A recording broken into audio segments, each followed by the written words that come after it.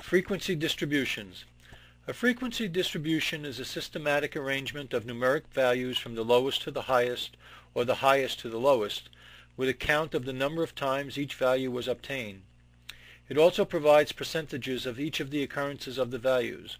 As an example, if we consider an analysis of a group of students who completed a standardized language arts test, the results of this test includes a performance level indicator coded as follows.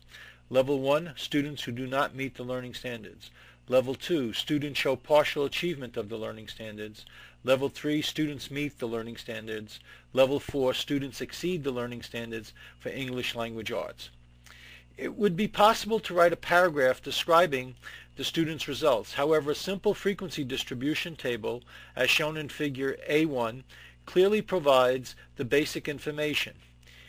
In addition to the percentages of each value, valid percentages, which excludes any missing or invalid data, and cumulative percentages are also provided in the example. If, we need, if needed, a simple bar chart can also provide a picture of the distribution. See figure A2.